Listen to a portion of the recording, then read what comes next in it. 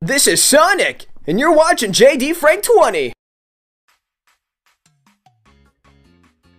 What is up, everybody? And I just got some super fast news. Thank you, SonAmy channel, for this information. I was just about to upload today's video.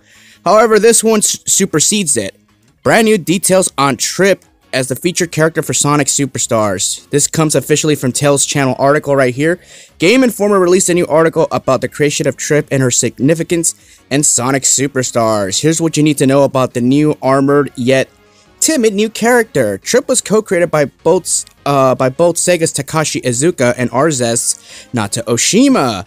Trip was made to be more of a unique character in the cast of enemies and a character that people can kind of relate to emphasize with and enjoy as a character in the world, not just because they're there, but because they were meant for something to the world.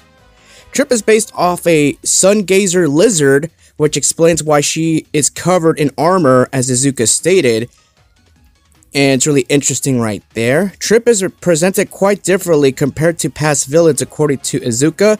The team wanted to, to show that Trip is not the usual enemy and wanted to introduce her in a way that's not that obvious to the player. And their time with the game, Game Informer's Brian Shea mentions Trip showing up in Amy's Lagoon City Zone act, where she is where she's seen sad and lost. Amy offers to help Trip, which makes the second half of the stage an escort mission with Amy carrying Trip to the goal ring. This is all fascinating information right here. I can't believe it.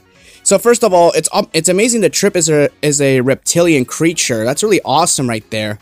And not only that, but this also makes Trip also the second creature co-created by Naoto Ohshima, and of course, another Sonic creator and Takashi Iizuka. This is fascinating news right here.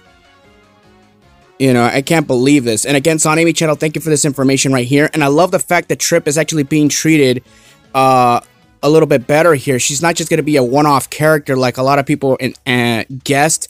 I honestly think that there's a lot more to Trip than meets the eye, and I think the Trip is going to be the fifth playable character. As you see this character selection screen right here, it's safe to say that Trip is going to be the fifth playable character on the top right-hand corner. Uh, that's what I'm assuming after what you just found out about uh, her and Amy, basically. That's fascinating information right there. Again, let me know what you all think about this, and I gotta go. Peace out.